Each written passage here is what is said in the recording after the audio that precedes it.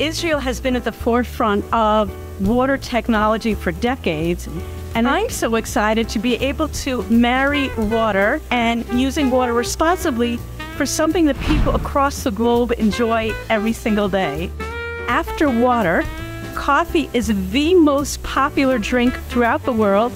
And we're visiting a very special cafe called Agro Cafe, which is involved in helping promoting small farmers around the world using fair trade practices to help grow coffee beans. I want to introduce Aaron, who works here at Agro Cafe and who is going to tell us more about the amazing story of this place. We implement irrigation and fertilization systems in South America. We have our small farm, but this is part of our R&D. In order to develop an Israeli plant that will be more resistible to the global warming. We are solving the problem of the small family farms that doesn't have a solution because they earn, let's say, $400 per month and the system cost is 50,000.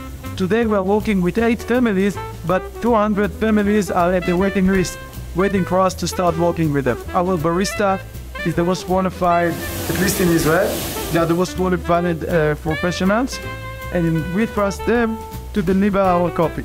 In an industry that sometimes can be controversial, Agro Cafe is going out of its way to make sure that food practices and fair compensation is an integral part of the business. Absolutely. I can tell you that uh, in most cases, when farmer starts to work with us and his salary is X, after working with us for one year, his salary will be something like 10x or 9x.